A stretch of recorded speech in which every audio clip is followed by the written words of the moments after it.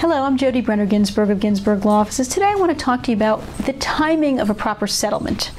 Um, I have a long, long, many years of experience and can tell you that there's just certain times when a case needs to get settled and there's times when it doesn't need to get settled. I'm never one that's going to rush somebody through a settlement.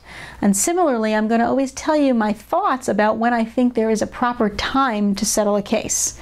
And we always communicate a lot with our clients about proper timing of settlement. We listen to what you have to say, and everybody's situation is different.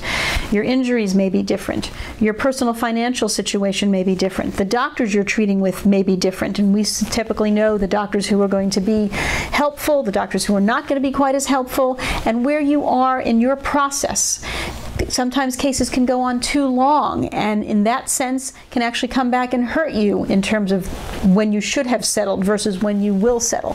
So we are always very, very engaging with our clients about talk, talking to you about proper time of settlement. Rushing somebody through a settlement may not be a great idea unless you tell me, hey, I need to get this thing settled for a particular reason, we will talk about it.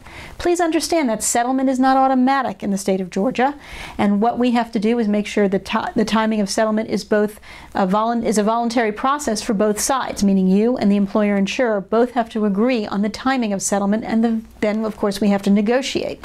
We are always in discussion with you about those types of things when the time is right. You can always bring those questions to me, and I'm more than glad to answer you so that cases don't go on too long and similarly are not uh, settled in too quickly because we have to look at what's wrong. We have to determine what the medical is going to be in your case. And we have to look at the potential down the road for medical and future benefits of different varieties. If you'd like to speak with me about the timing of your settlement, when is a good time for you to settle your case, please give me a call. I'm more than glad to speak with you. 770 351 0801. Thank you.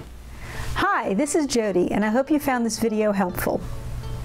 If you'd like to know more about all rights and benefits available to you under the Georgia Workers' Injury Laws, I'd like to invite you to download my Georgia Workers' Compensation Survival Kit that I created for folks just like you.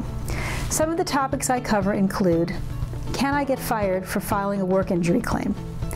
Eight critical mistakes to avoid. Is it true that the insurance company will hire a private investigator to follow me around and videotape my activities? What happens when the insurance company is late with my weekly wage payments? Seven specific tactics I recommend to maximize your case settlement value.